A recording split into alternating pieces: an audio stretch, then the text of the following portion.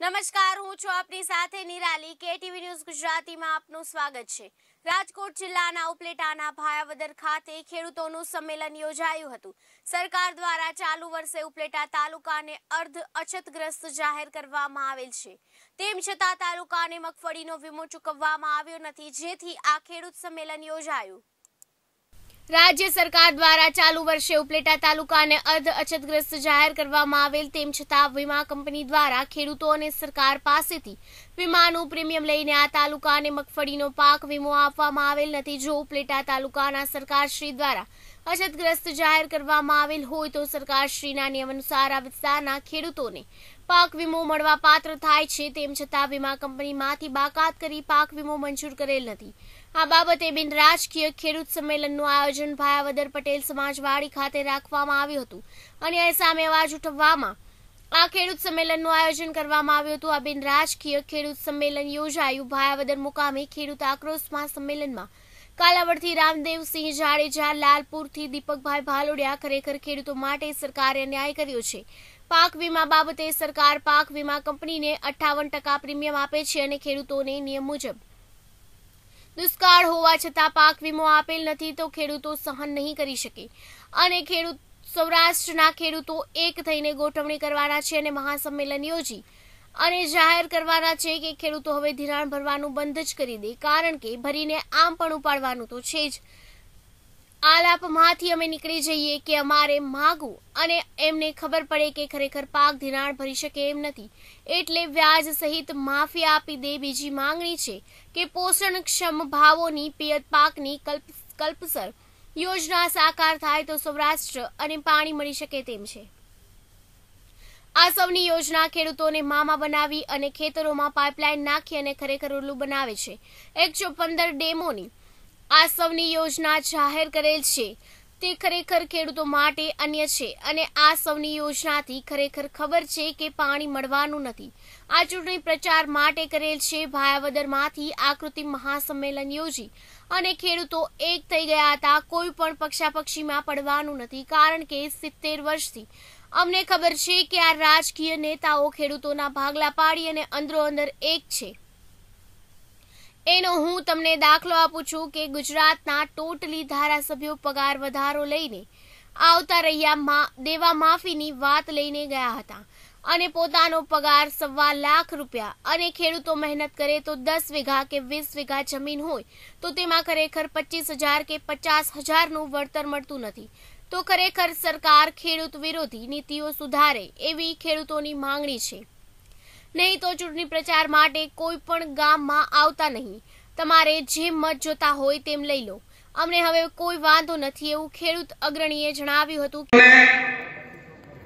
જ્યારે જ્યારે અન્યાય થાય અને એ અન્યાય થાય ત્યારે એ ખેડૂતો લાકડિયા તારની જેમ ઉપસ્થિત થાય. હાજરી નોંધાવે.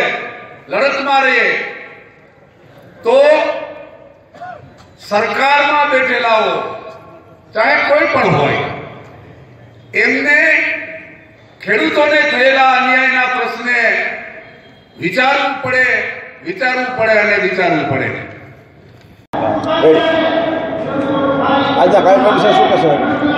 રાજકોટ જિલ્લામાં ખેડૂતોએ ટોટલ બારસો ને અઠ્યાવીસ કરોડ કરતાં પણ વધારે ખેડૂતોએ વીમો લીધો છે અને અહીંયા ઓગણપચાસ પોઈન્ટ વીસ ટકા સોરી ઓગણપચાસ પોઈન્ટ ચાલીસ ટકા વીમા પ્રીમિયમનો દર છે. એના, એ મુજબ જો ગણીએ તો લગભગ છસો કરોડ કરતાં વધારે ખેડૂતોએ અને રાજ્ય સરકાર અને કેન્દ્ર સરકારે સાથે મળી અને વીમા પ્રીમિયમ આ કંપનીઓને આપ્યું છે. ખેડૂતોએ અને સરકારે જ્યારે છસો કરોડ કરતાં વધારે વીમા કંપનીઓને આપ્યા હોય અને એની સામે વીમા કંપનીઓ માત્ર ત્રણસો કરોડ જ ખેડૂતને પાછો પાક વીમા તરીકે આપે છે. જોયા જેવું એ છે કે છસો કરોડ લઈ જાય છે એમાંથી વીમા પ્રીમિયમ લઈ જાય છે અને એમાંથી ત્રણસો કરોડ ખેડૂતને વીમો આપે છે. ખરેખર જો આપવું હોય તો બારસો અને અઠ્યાવીસ કરોડ કરતાં વધારે ખેડૂતનો વીમો છે. રાજ્ય સરકારે આ વિસ્તારને અર્ધ અછતગ્રસ્ત જાહેર કર્યો છે અને જ્યારે અર્ધ અછતગ્રસ્ત જાહેર કર્યો છે ત્યારે સિમ્પલ વસ્તુ છે કે અહીંયા પાક ન જ થયો હોય અને પાક ન થયો હોય તો વીમો સરકારે આપવો જ જોઈએ. એની જગ્યાએ ઝીરો ટકા ઉપલેટામાં, પડદરીમાં ઝીરો ટકા પાક વીમો આપ્યો છે. આ સરકારની કેવી નીતિ રીતિ આ ખાનગી કંપનીઓની કેવી નીતિ રીતિ ખેડૂતોને આત્મહત્યા કરવા તરફ પ્રેરતા હોય એવી આ સરકારની નીતિ રીતિનો આજે ખેડૂતોએ સૌએ સાથે મળી અને વિરોધ કરવા માટે એક ખેડૂત ક્રાંતિ સંમેલન રાખ્યું છે અને એ આવનારા દિવસોમાં જો સરકાર અને વીમા કંપની નહીં જાગે, તો આનાથી પણ મોટું જિલ્લા મથકે ભેગા થઈ અને અમે વિરોધ નોંધાવશું. આગામી રણનીતિ શું તમારી હશે? દરેક જે જે તાલુકાઓમાં પાક વીમો ઓછો આવ્યો છે, સ્વાભાવિક છે કે ત્રણસો કરોડ જેટલો જ પાક વીમો રાજકોટમાં આપ્યો છે. તો ક્યાંક પાંચ ટકા ક્યાંક પચીસ ટકા ક્યાંક સત્યાવીસ ટકાનો આવો પાક વીમો આપ્યો છે. અને આખા રાજકોટ જિલ્લામાં દુષ્કાળ જેવી પરિસ્થિતિ છે, તો પાક વીમો તો આપવો જ જોઈએ. જિલ્લાના દરેક તાલુકાના ખેડૂતોને એકત્રિત કરી અને મુખ્ય મથકે જરૂર પડી તો ઉપવાસ આંદોલન પણ કરશું. ગાંધી ચિંધ્યા માંગે, માર્ગે અમારે અમારા હક માટે લડીશું.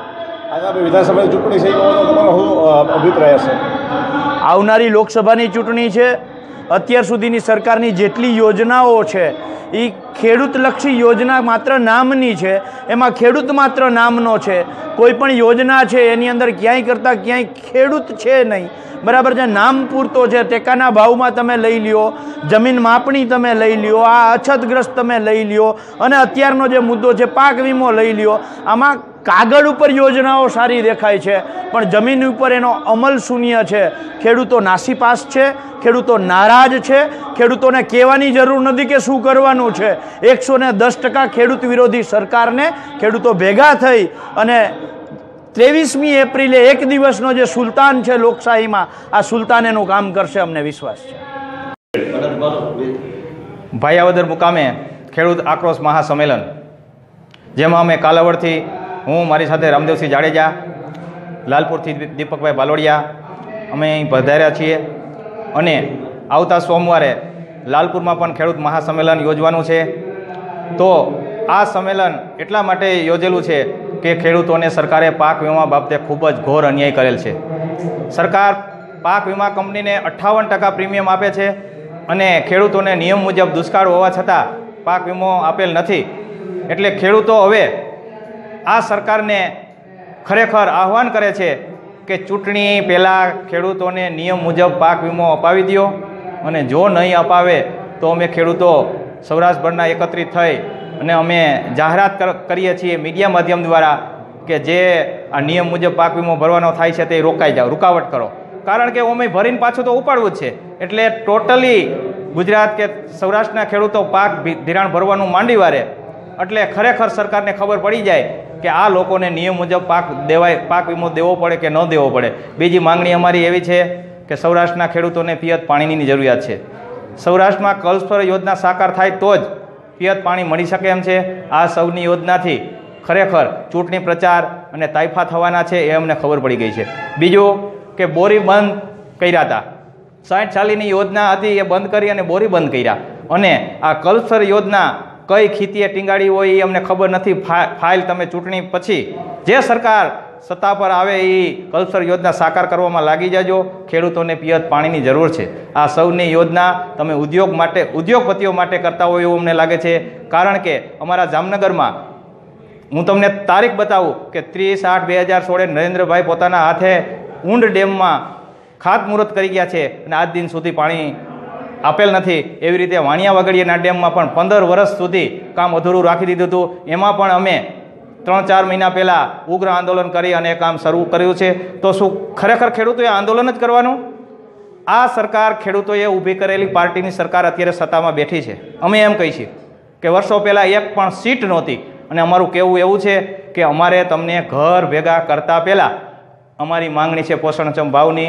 પાક વીમાની તે અપાવી દો બીજી અમારી કોઈ માંગણી નથી. ને આવતા દિવસોમાં જો પાક વીમો એક અઠવાડિયામાં જાહેર નહીં કરો, તો ગુજરાતભરથી સૌરાષ્ટ્રથી ગામો ગામ ખેડૂતનો આક્રોશ છે કે ચૂંટણી પ્રચાર કરવા ન નીકળતા, પછી માથાકૂટ થાય અને ખોટા ડખામાં પડવું.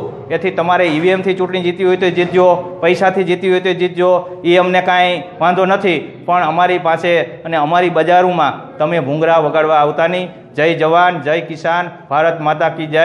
ખેડૂતો હવે કોઈ પણ જાતનો અન્યાય સહન નહીં કરે અને બધાય સમાજ સાથે મળીને લડી લેવાના છે. ભારત માતા કી જય જય જવાન, જય કિસાન. કેટીવી ન્યૂઝ ગુજરાતી સાથે, કાનભાઈ સુવા ઉપલેટા